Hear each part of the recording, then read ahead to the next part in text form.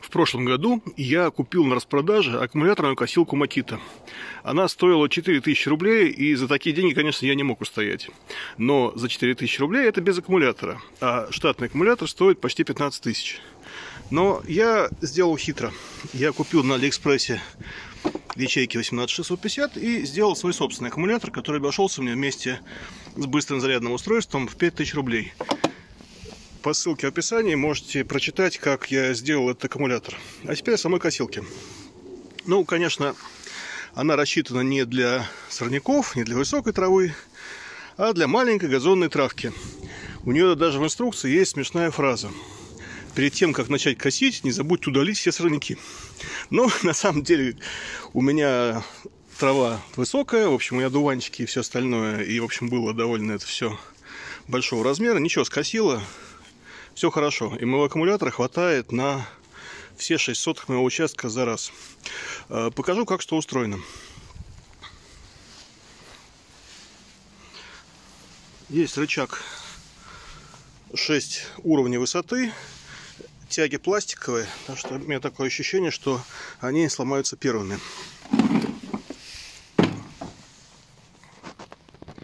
Тридцать восемь сантиметров нож. Нож к счастью, металлические, не пластиковые. Оси колес тоже металлические, поэтому вот осень-то не сломаются. Эта штука тоже железная. А вот тяги, не знаю, не знаю, посмотрим. Косилка рассчитана на работу только с вот этим кузовом.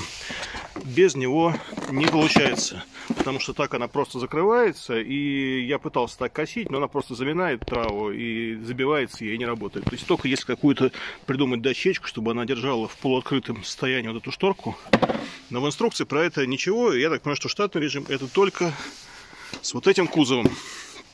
Удобно, что у него большой раструб, и из него трава очень легко высыпается. Еще у него есть совершенно замечательное, очень простое устройство. Вот эта штука показывает, заполнен кузов или нет. Пока он не заполнен, она вот так вот открывается, болтается. Там дырочки, через которые дует воздух. Как только она забивается травой, она опускаться перестает. И это сигнал, что надо остановиться и опустошить кузов. Когда трава была высокая, мне приходилось останавливаться каждые 2 минуты. Когда трава поменьше, то где-то каждые 3,5 минуты. Кузов держится на вот таких вот уступчиках. А тут есть вот такие шпинечки. В общем, ставится он достаточно удобно. Сейчас будет акробатическая операция, потому что я без штатива одной рукой и снимаю, и его ставлю. Ну, все, он поставился. А для того, чтобы запустить косилку, нужно обязательно нажать вот эту красную кнопку. То есть, если я просто буду нажимать рычаг, ничего не произойдет. А если нажать красную кнопку и после этого нажать рычаг, вот косилка запустилась.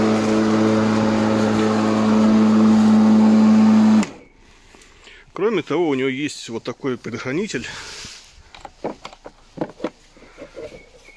Если его вытащить, то косилка не работает. Это защита от детей, ну и вообще от всяких нехороших случаев, потому что аккумулятор это в ней.